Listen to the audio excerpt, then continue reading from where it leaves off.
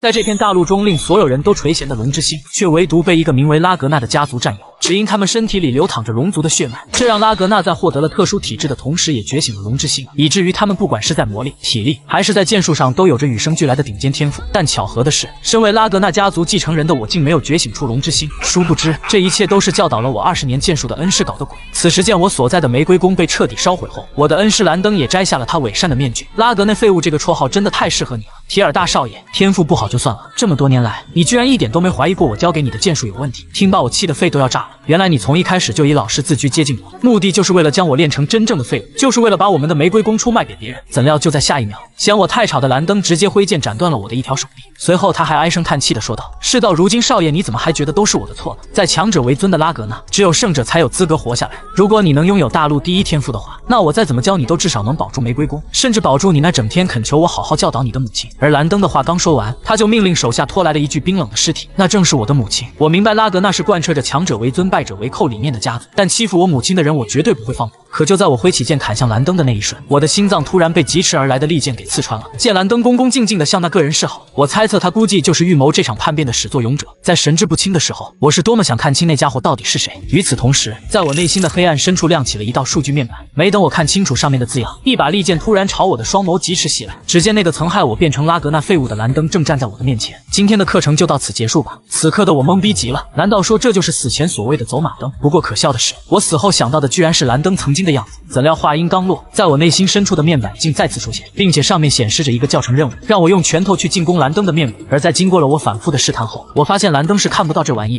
随即我便攥紧了拳头，虽然不知道这究竟是怎么一回事，但肯定是神想要帮我在死前好好谢谢。那我就恭敬不如从命了。可让我没想到的是，这打后的触感居然跟真的一样。没等我思索半分，蓝灯突然变得杀意十足，他的剑猛地朝我的腰部打来。少爷，我刚才应该跟你说过了，今天的课程已经到此为止。我能理解你的心情，但留给你的时间不多你是没办法赶在开化仪式前突飞猛进的。不过我好心劝你一句，拉格纳家族就从没有使用过拳头战斗，更没有拿自己的恩师作为泄愤工具。与此同时，在周围修炼的其余人纷纷对我嘲讽了起来。不愧是拉格纳的废物，自己没天赋还要怪自己老师不行。这家伙真的是拉格纳的后代吗？不会是在哪个垃圾堆里捡来的吧？此刻听着这些人的杂言窃语，再加上修炼场尘土的触感，以及被蓝灯打后腰部传来的痛觉，我突然意识到，这很可能不是死前的走马灯，而是死后的我回归到了十年前十七岁的时间线上。这时那道面板再次亮了起来。由于我完成了教程任务，作为奖励，我的拉格纳天赋即将被激活。随后是否立刻领取奖励的字样便出现了。我毫不犹豫选择了是。刹那间，只见在我的心脏处陡然间彩光四射。随着奖励派发完成，面板显示从现在开始，我的所有能力值都将以惊人的速度得到提升。看来我这是觉醒了小说中才有的变强系统。但唯一能证明这些都是真实存在的，只有跟他见了面后才知道。与此同时，玫瑰宫那边，蓝灯正跟公主聊着关于我天赋剑术方面的事情。但抛开提尔少爷在这方面挫败的情况下，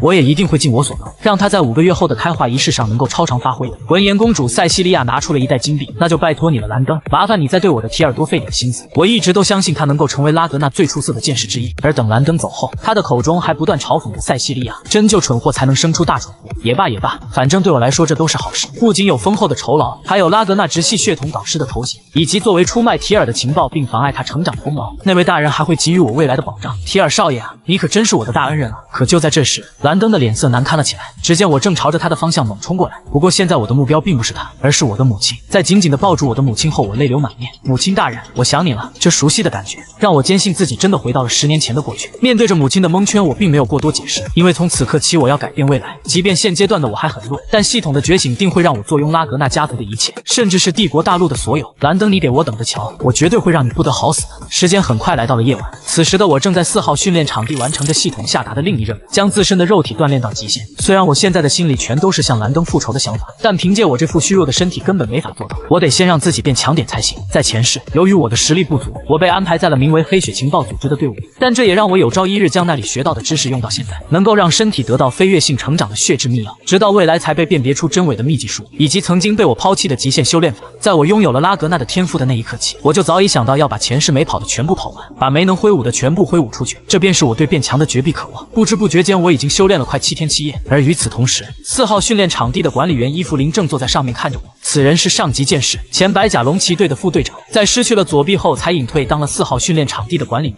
只见他纳闷的暗自道：明明是个废物，却如此刻苦修炼，他是真的没一点拉格纳家族的天赋在吗？反观我，看着面板上的完成进度到了百分之九十七后，手中剑挥洒的力度变得更大起来。我不敢有一丝懈怠，因为昨晚我只不过是想休息一会儿，结果却发现这进度条是会降低的。但这也诠释了任务的真正含义，只有在我肉体极限的情况下才能被完成。就这样，我在自己即将窒息前的一秒，将进度条提升到了百分百。而随着完成任务面板的弹出，一阵无力感瞬间涌散我的全身。作为奖励，我将得到龙之心，并且由于完成的快速，我将额外得到前世十年的魔力。在我即将晕厥的那一刻，我点击了立刻领取。下一秒，只见一股莫大的魔力突然冲进了我的身体，而这一幕也把在旁观看的伊芙琳给镇住了。这难道是？画面一转，我从昏暗的房间里醒了过来。在我询问这是哪里后，伊芙琳便走进来说道：“还请提尔少爷放心，这里是四号训练场地的休息室。但是你即便是拉格纳的后代，身体也没法经住的你这样疯狂的训练。为此，我向表示了感谢，并让他没必要给我操心。怎料就在伊芙琳提给我水杯的那一刻，他突然就变得严肃了起来。少爷，你应该知道的，在开化仪式没进行前，拉格纳家族有明确规定，绝对不能私自使用魔力。闻言，我表示了肯定，这是因为在开化仪式前开启的话，会容易出现魔核暴走的情况。那您应该也很清楚违背禁忌的后果吧？在你失去意识的瞬间，我可是感知到你身体出现了类似魔力的波动。莫非提尔少爷，您是开启魔核了？看来伊芙琳昨晚目睹了我领取奖励的过程，但为此我依旧有办法应对。这一世觉醒了龙之心的我，怎么可能被一个禁忌处处罚就给难倒了？要知道，龙之心是可以储存大量魔力魔核的龙的心脏，这对于有着龙族血脉的拉格纳家族战士而言，简直就是梦寐以求的东西。毕竟那可是成为绝对王者的捷径，而非龙族后代的普通人。他们的魔核所在位置是在下腹的位置处，强行放在心脏必将爆体而亡。就在这时，我想到伊芙琳好像是以绝对原则主义而闻名的，她不在乎对方的实力和身份，是个绝对不会容忍不义和卑鄙行为存在的人。同时，也是因为过于没有通融性，让她的直系导师资格被公主给取消掉。随后，我以主人的语气质问道：“请问你能保证你刚才说的都是对的吗？难道就仅凭一瞬间的事就要立刻处决掉我吗？如果你的判断是错的，后果是你能够承担得起的吗？别忘了，我手中有着拉格纳的第一继承权。”伊芙琳闻言低头表示，这都包含在原则内。但不管他是否会因为误判被处刑，现在必须给我做检测。而随着伊芙琳的手中散出魔力，在我下腹的位置竟没有产生共鸣现象，也就是说，在他的眼里，我并没有觉醒出魔核。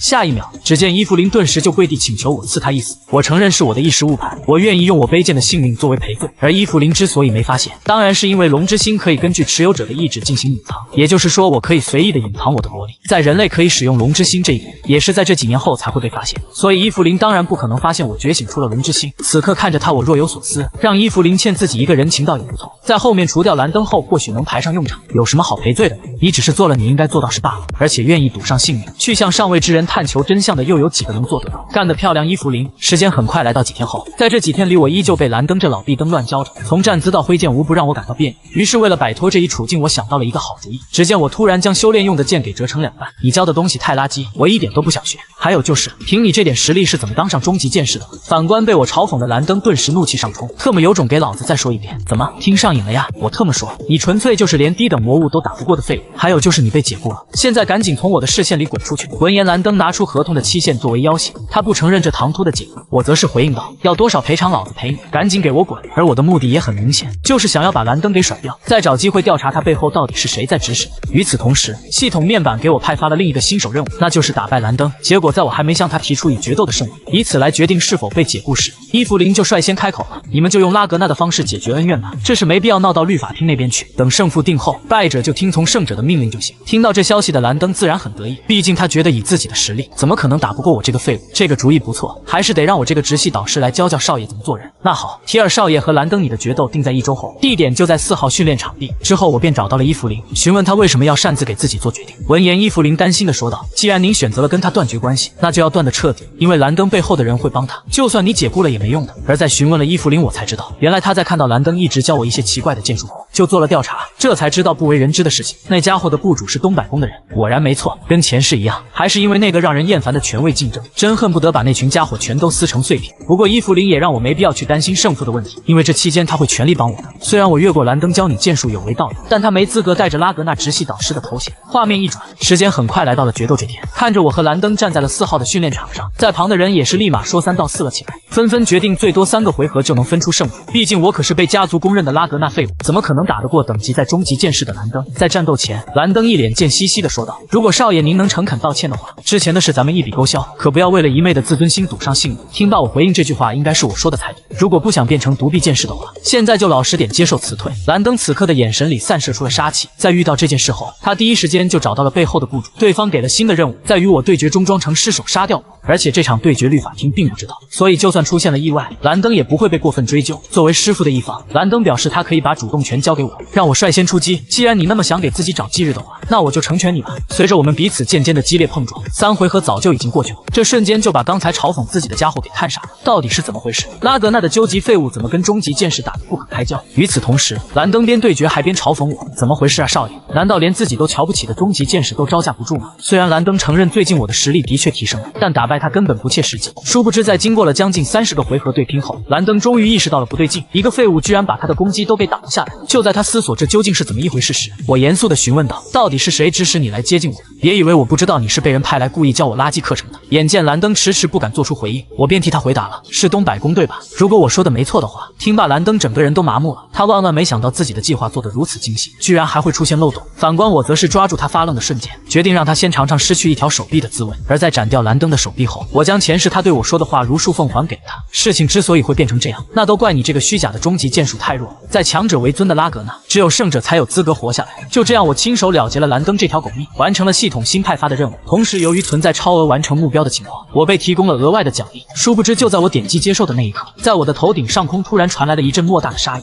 连马步都扎不明白的我，却每天都要干三十万个俯卧撑，用剑挥砍一百万次，最后再在睡觉前冲刺一个无氧一百公里，只为有朝一日能打败教育我二十年剑术的师傅。原来这二十年来，他受人委托一直教我奇怪的剑术，导致身为最强家族拉格纳继承人的我沦为了家族的笑柄。如今重回一世，我的首要计划就是先取了蓝登这条狗命。最终，我也是在毫不费力的情况下，先斩下了他的一条手臂，再砍下他的脑袋拿去喂给魔物吃，把前世对我所做的一切如数奉还。而由于系统任务的超额完成，让我不仅激活了洞察之眼的技能。还给了我一年才能修炼提升的魔力。可就在我思索洞察之眼有什么用途时，一个莫大的杀意突然出现在我的头顶上空。在此人落地的瞬间，训练场地当即碎石飞溅，魔力四射。等回头看后，我才惊奇的发现，来人居然是拉格纳家族九龙之一的魔龙，现役白甲龙骑队的队长尤里乌斯。他为什么会在这里？不对，他从什么时候开始观看这场对决的？与此同时，场外的观众也被惊出了一身冷汗。他们自然都清楚魔龙的实力所在，才会这样。反观伊芙琳则很是头疼。特么你个尤里乌斯，就不能正常点走进训练场地吗？害得我后面又得收拾保养。一般九龙突然现身的原因只有两个：魔族入侵或者家族犯事。可这里既没有魔物，又没人惹事，尤里乌斯不应该来才对。怎料就在下一秒，尤里乌斯的神情跟遥控似的秒切换，紧接着他还边用手大力的拍我的背，边夸道：“好你个提尔，你的手段还真是痛快又心狠手辣。我愿称你为背刺之王。”但转念一想，尤里乌斯又觉得不妥，毕竟蓝登的所作所为，活该被处死。不过这些都不是尤里乌斯来此的意图，他来是要邀请我加入到自己率领的白甲龙骑队。此话一出，瞬间引爆到了全场的氛围。神马情况，尤里乌斯大人居然邀请拉格纳的究极废物进他的队，开化仪式不是还没开始吗？这未免也太冒风险了吧。的确，在没有开启魔盒的情况下，尤里乌斯根本就无法确认我的潜力。毕竟有的人天生剑术出色，但却魔力低等。怎料对现场人人都垂涎的邀请，我却是只说了三个字：我拒绝。这可把尤里乌斯给整尴尬了，随便找了个理由就离开了此地。很快，这件事传遍了拉格纳的大街小巷，曾经一度瞧不起我的人。他们对我的称呼逐渐从拉格纳废物转变为了提尔少爷。同时，这件事也传到了东百宫那边去。只见此刻的公主艾米尔头都大了，这下真出事了。那废物居然杀了兰登，今后的计划可怎么办？闻言，站在身后的人安抚道：“不必担心，毕竟兰登本就是虚假的终极剑士，此人是艾米尔的哥哥埃德特洛伊万，并且还是九龙之一的抗龙。但其实艾米尔担心的并不是兰登的死，而是对决后产生的连锁反应。现在不仅是魔龙相中了那废物，就连伊芙琳也亲自教他剑术，已经不能再给他派新的导师去妨碍成长。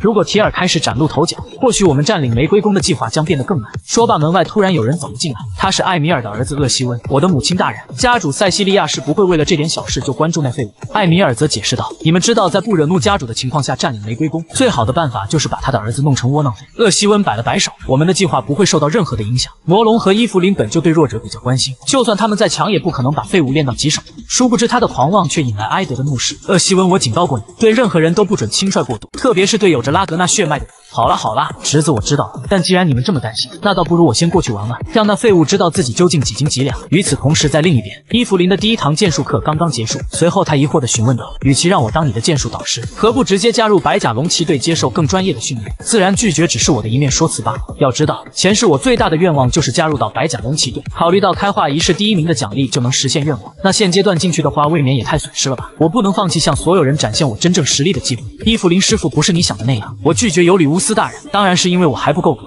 伊芙琳只觉得有点好笑，毕竟他曾经的队长看人的眼光就从没错误过。而为了了解洞察之眼的能力，我对着伊芙琳使用了。下一秒，只见除了他的三维外，其余信息都十分准确的在系统上显示了出来。这项果然很有用，今后绝对会在很多地方用上它的。就在这时，有人突然叫住了我，他说他是南部检查站的西比尔德雷，有一件重要的事想找我探讨探讨。我看着此人的长相有点凶悍，以防万一，还是对他使用了洞察之眼。结果竟发现这家伙居然对我有着强烈的憧憬之心，特别想与我对练一次。随后系统还给我派发了最后一个新手任务，摆脱掉拉格纳废物的头衔。可西比尔说话还真是不过脑子。直接当着我的面说，他之前非常认同我拉格纳废物这个绰号，但在看到我展现出不俗终极剑士的实力都是靠自己努力的结果后，他的态度变了。提尔少爷，我至死都将追随您，是你的出现才让一度自暴自弃的我重新燃起了斗志，所以还请您给身为南部废材的我一个对练的机会。若是换做以前的我，或许会怀疑这家伙的真心，但在洞察之眼之下，他的情况我一览无余。除此之外，在西比尔身后还有大批跟他有着同样心思的人。看来，在我打败了兰登以及受到尤里乌斯大人青睐的传闻传开后，那些曾经不认可我的家伙我基本都过来了，对我的态度转变为了敬佩。这还真是意料之外的事。现阶段就有这么多人愿意追随我，在成为拉格纳家主之前，我的确也需要一些支持我的人。还有就是，我得趁今天的这次机会，赶紧把这最后的新手任务给完成。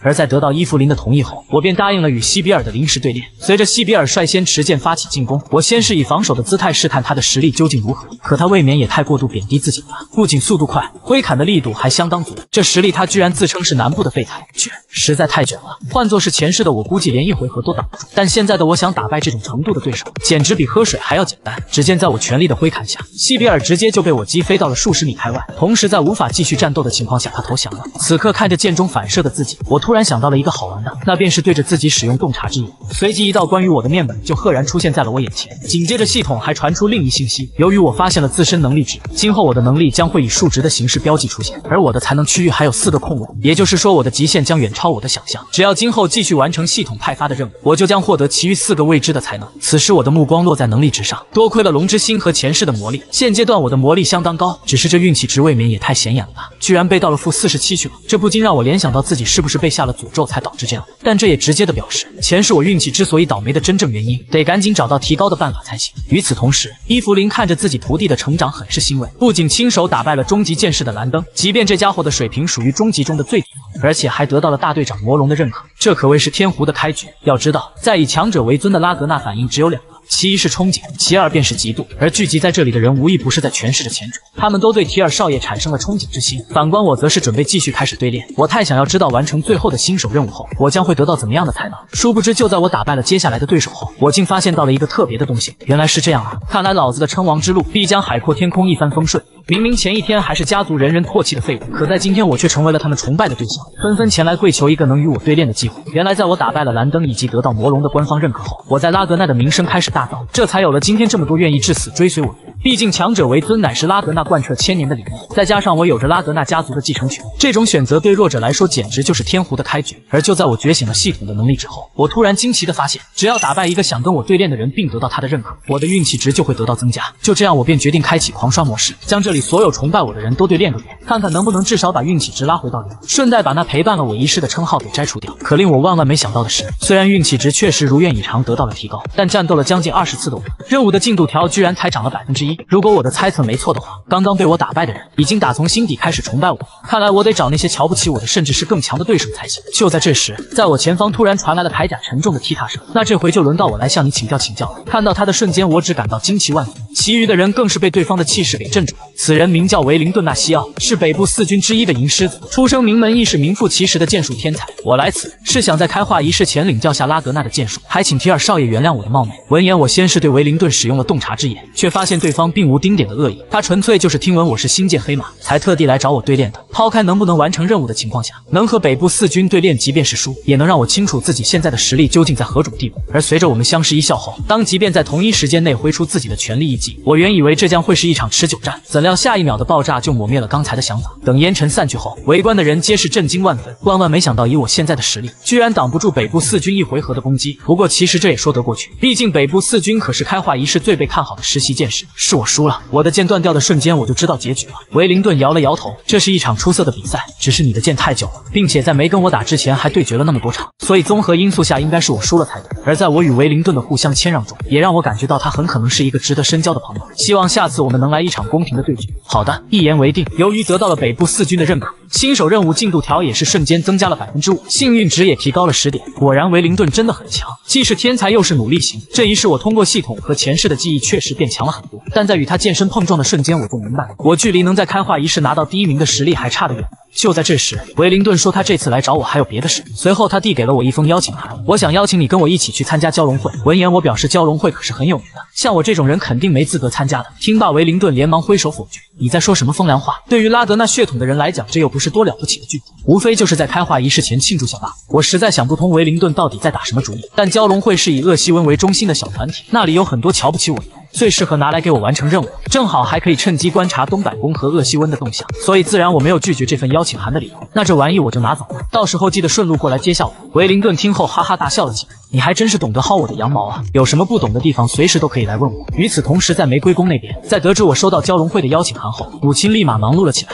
她叫来了家族里最好的礼服定制师。见状，我一脸的懵逼，母亲大人，您这是要干嘛？塞西利亚则超兴奋的贴近说道：“听说你收到了蛟龙会的邀请函，这聚会可是那个狡猾的艾米尔儿子厄西温和。”像维灵顿这种天才聚集的地方，甚至就连元老院也对蛟龙会感兴趣，所以你的打扮行为举止绝对不能被那些人抓到把柄。说着说着，塞西利亚便亲自拿起卷尺测量我的三围。我知道你在礼节方面完美无缺，但穿着和教养是两码事，所以这方面我会帮助你的。别忘了，妈妈以前可是演员出身的。听到这里，我的心像是被夹子狠狠夹住那般的痛。我的身份是低贱的数字，母亲一直心存惭愧于对我的这个标签，可这明明就不是她的错呀。随后我对母亲说道：“有我这么个窝囊的儿子，您一定很辛苦吧？”塞西利亚闻言立马他忍不住哭了出来。妈妈其实。都相信你会成功的，才不是别人口中的拉格纳废物。我知道这是只有母亲才会对我说的话，但在彻底的砸掉蛟龙会之后，拉格纳废物这个称号将拥有从我的身上消失。时间很快来到了半个月后，今天便是赴宴蛟龙会的日子。维灵顿早早就安排好了马车在城门外等候，怎料下一秒在见到我时，他直接惊呆了。你真是提尔吗？这装扮简直就跟换了一个人似的。维灵顿，你就别开玩笑了，这是我母亲安排的，赶紧上车吧。在那次对练之后，其实维灵顿每天都会专程来跟我一起训练，我们的关系也开始变得亲密立了起来。只是有一点苦了伊芙琳，明明一开。始为了我才重新开始收徒弟，现在倒好，不仅得多教我刚收的小迷弟，就连别的家族的人也要掺和进来。而在行驶的过程中，维灵顿突然跟我说了一件事：这次的邀请函其实是厄西温托我转交给你的，甚至为了迎接你，他还特意准备了有趣的节目。对此，我只是笑了笑，并无过多的回应。看来维灵顿还不知道厄西温跟我的关系非常恶劣。画面一转，我终于再次来到了这该死的东百宫，也是指使蓝灯妨碍我的成长，最后吞下玫瑰宫的幕后凶手所在的地方。这时，维灵顿告诉我，厄西温说的节目会在入口处进行。我清楚，这绝对不会是什么好事。毕竟厄西温之所以会派维灵顿来邀请我，不用想我都知道，是因为我最近的名声开始大噪，他肯定想要打压下我的气势。但老子怎么可能会任你宰割呢？我要让你明白什么才叫做全方位的碾压。就在这时，我发现在头顶上的窗户处出现了类似系统的蓝光，难道说东百公里有任务吗？岂料就在我思索之际，身后的维灵顿突然大喊。道小心！下一秒，只见在我所在的位置顿时炸开了白色的粉尘。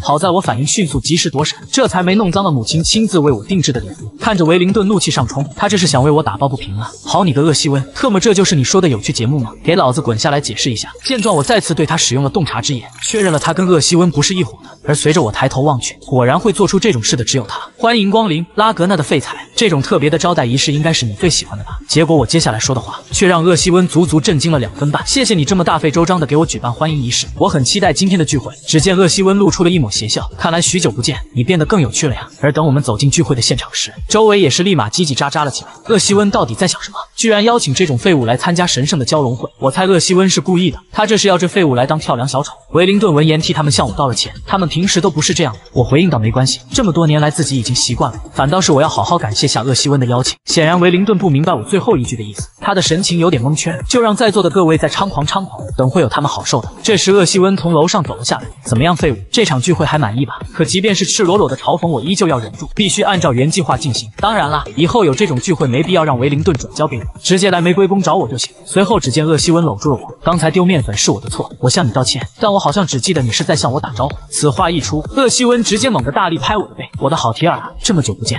你居然变得如此有趣，我真越来越喜欢你了。周围的人见状，纷纷觉得我是在低头拍厄西温的马屁。毕竟，就算同属拉格纳，也是有等级划分的。突然，维灵顿的脸色逐渐难堪了起来，因为有人故意去触碰他的逆鳞。严格来说，维灵顿的出生也是庶子吧，还真是跟拉格纳的废物是天生一对啊。可殊不知，我在等的就是这一刻。我要让维灵顿认为，接下来我所做的一切有在帮他的成分在。于是我告诉厄西温，我要离开一会，我得学你跟现场的新朋友打打招呼。随后，我径直走向了一个依旧还在喋喋不休讨论数字话题的家伙，拿起桌上的酒瓶，朝他的脸门直接就抡了上去。见他还想反抗，我又是临门一脚直击下来。特么说谁是废物呢？庶子的身份是招你惹你了吗？别忘了，你们家族只不过是我拉格纳的看门狗罢了。说罢，我猛地一摆，将他的骨头给掰成了两截。那些家族等级跟他差不多的人在看到后，纷纷被震慑在了原地，不敢乱动，更是被我的一句“谁也想要跟我打招呼”吓得冷汗直冒。与此同时，我的任务进度条直接飙升到了百分之五十八，并且还在持续上涨中。怎料就在下一秒，我的脖子被四把利剑给围住了。刚才我伤的是他们的少爷，所以他们要让我以死谢罪。结果在我强烈的威压下，他们连剑都快要拿不稳了。反应过来的他们瞬间意识到不对劲，他们这是惹错人了。本还想道歉祈求我的原谅，可留给他们的却只剩脑袋落地。干得不错呀，伊芙琳师傅。而伊芙琳之所以会过来，当然是因为她实在放心不下我这个徒弟。他曾是厄西温的师傅，自然最清楚这家伙的性格，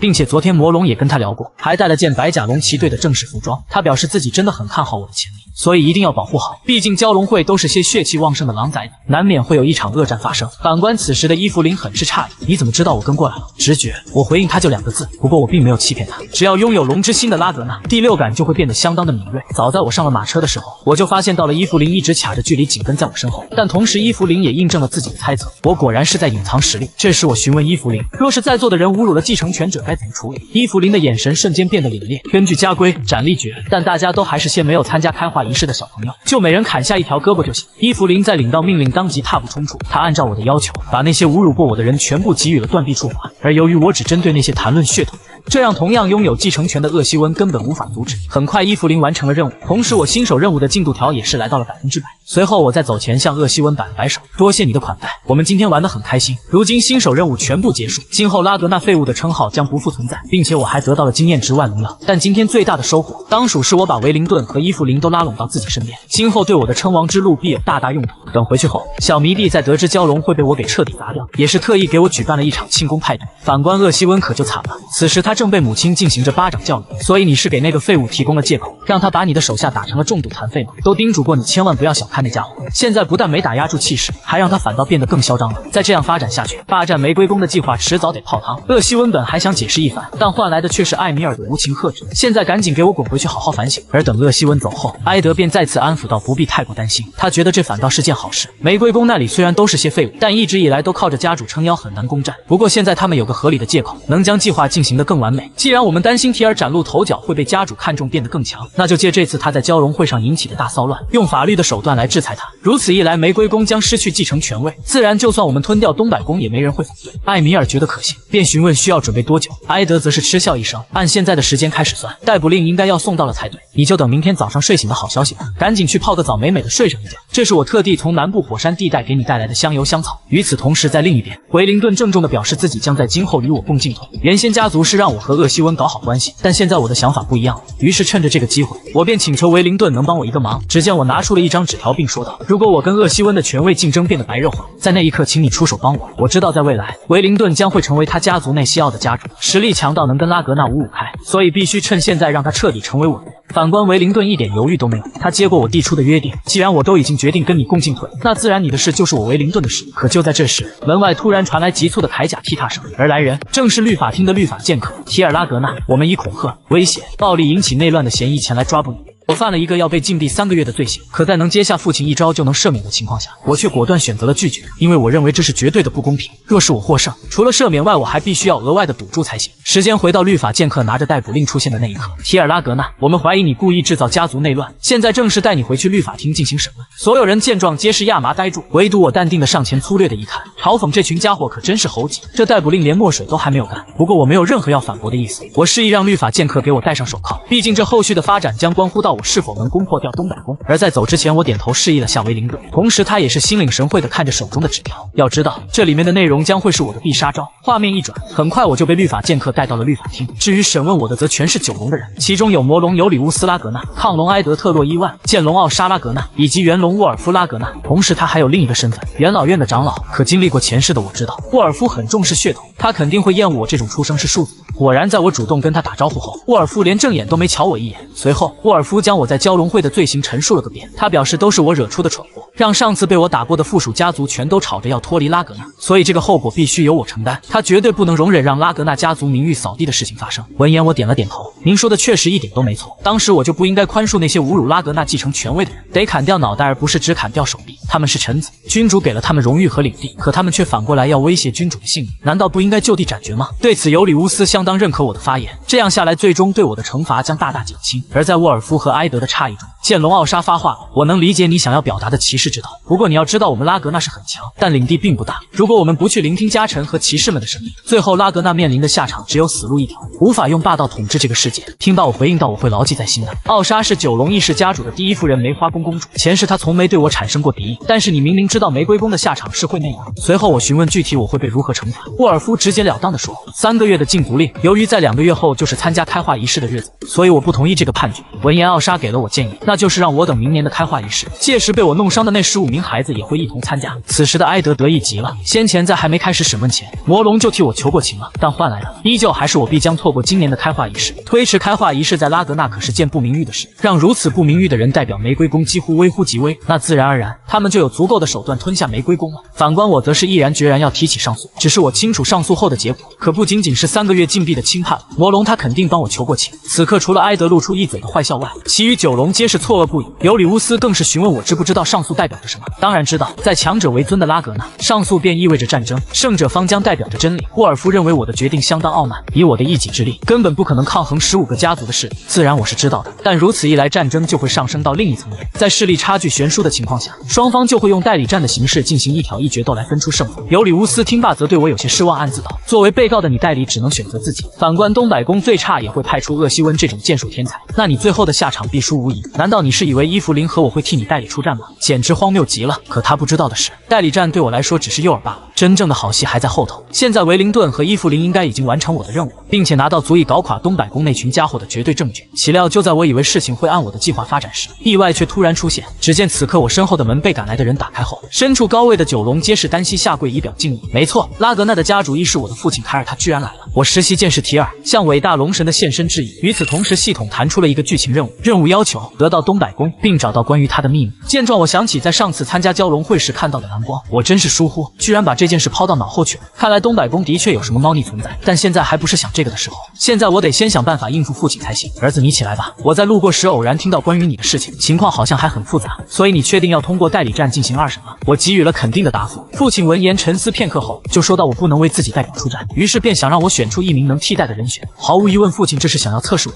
那我就如你所愿，我没有所谓的代理人，这场对决只能由我自己出战。虽然我清楚我输的可能性相当高，但不试试怎么知道？你儿子我就是要选择宁死不屈。”此话一出，父亲当即仰天大笑了起来。大伙听见我儿子说的话没有？没有比这更适合拉格纳继承人说的。老子很喜欢你的态度，所以身为拉格纳主人的我决定考验考验你。若是提尔你能接下我一剑，我就赦免你的所有嫌疑。你没有拒绝我的理由，现在马上到外面来。突然，凯尔身后传来了反对的意见。家主万万不能如此草率啊！这是因为埃德清楚，如果我能扛下那一剑，就能成为得到家主认可的继承人。虽然我知道提尔肯定撑不住的，但凡事都有个意外，所以他必须阻止家主这个决定才行。作为家臣，我的确没资格插手两位的父子情。可按照规矩，怎料他的话还没说完，父亲只是一句话就让他瞬间怂了下来。看来你对我的判断很有意见。我明白了，家主，一切按照你的安排进行。随后，父亲更是看向了台上的魔龙，因为从刚才他就一直在那里笑嘻嘻，而他也是乱说一通。当然，只是是因为太久没看到家主感到开心了。对此，父亲自然懂他的心思，但现在得先办好正事才行。怎么样，儿子，我的这个决定你没意见吧？而如今计划都在往不可逆的方向在发展了，那我当然就得顺从此等天意。可殊不知，我回应父亲的竟是拒绝二字。闻言，他瞬间愣住。但其实我想说的是，对我来说，奖惩的结果不够公平。若是我获胜的话，我要得到更丰厚的奖励。毕竟父亲您的实力可是大陆最强，怎么能跟代理战的人相提并论呢？闻言，父亲便询问我想要增加什么奖励，我则是一脸邪恶的回头看向埃德，我要东百宫，这可把埃德气得肺都要炸了，巴不得现在冲上去把我撕成两半。反观沃尔夫，则是觉得我过于傲慢，最终只会引火上身。可对于父亲的性格，我拿捏的可谓是死死的。他同意了我的建议，既然想当继承人，最起码也该有这种胆量才行。那现在就跟我来吧，老子要亲自考验你是不是有这个资格。